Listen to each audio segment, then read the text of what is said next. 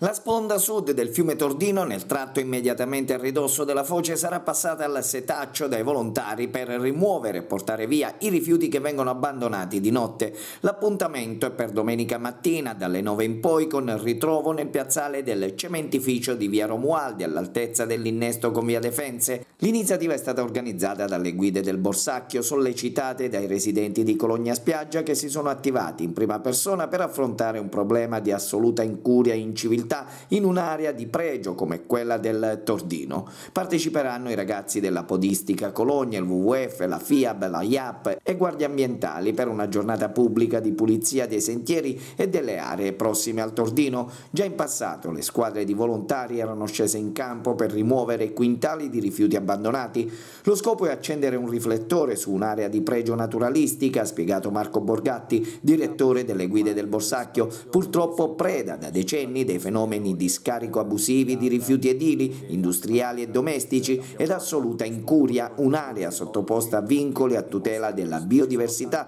che trova nei fiumi e foci riparo invernale o luoghi di sosta per la migrazione. L'area è da sempre, tra le altre cose, meta di escursionismo ridotto, viste le condizioni, ma che in futuro, se attenzionata o oggetto di interventi, potrebbe diventare un volano per la salvaguardia del territorio, dando la possibilità ad appassionati appassionati, turisti e residenti di visitare quella che è a tutti gli effetti un'oasi naturalistica anche se non riconosciuta ufficialmente. Questa zona, al pari di quella del Vomano, adeguatamente curata e sviluppata in maniera sostenibile, potrebbe offrire collegamenti ciclabili fra i territori della vallata del Tordino.